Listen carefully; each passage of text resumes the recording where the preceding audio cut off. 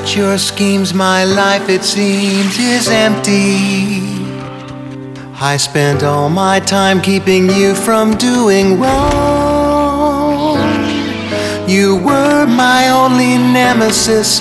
I'd for your plans, but still I miss the moments when we didn't get along. So search your heart, please, Dr. D, and I am sure that you will see that you were always meant to be my only lifelong enemy. But now you're doing battle with a panda from Seattle.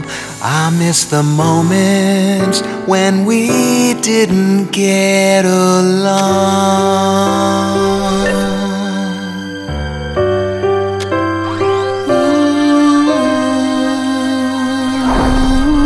you